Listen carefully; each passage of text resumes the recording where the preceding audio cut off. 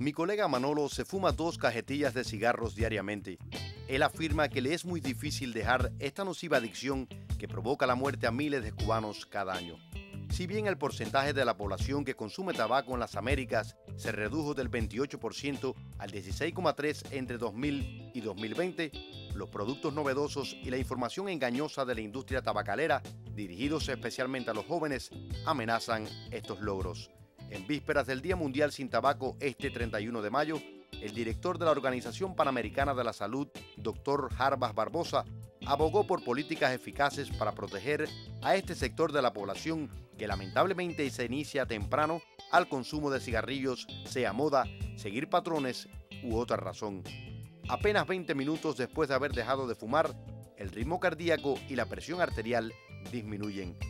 Entre 5 y 15 años después de dejar de fumar, el riesgo de accidente cerebrovascular se corresponde con el de un no fumador.